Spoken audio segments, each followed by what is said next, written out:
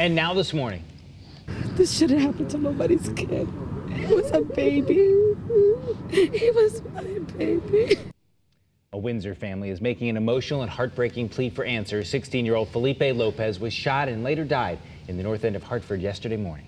Now, an investigation is underway into what led up to his death. Channel 3's Eva Zymaris joins us live now from the LP Wilson Community Center in Windsor, where grief counselors will be available there today. Eva?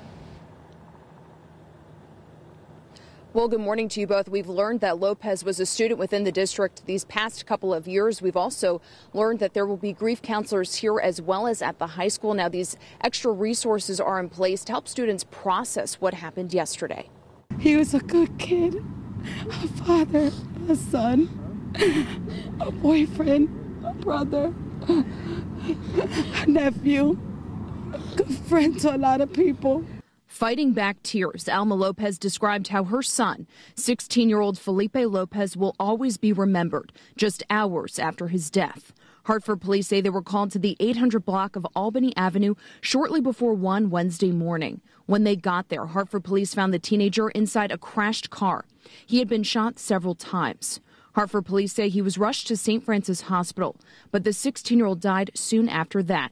He would have been 17 on Friday.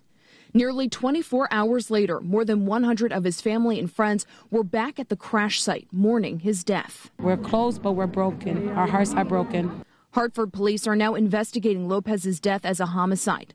They'll be looking at everything from his car to his cell phone and cameras in the area, trying to piece this all together. In the meantime, his family is pleading with the public. They're hoping anyone with any information about what happened to give police a call right away.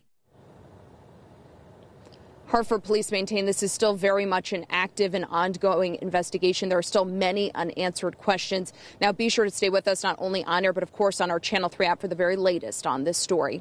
Live in Windsor this morning, I'm Eva Zymaris, Channel 3 Eyewitness News.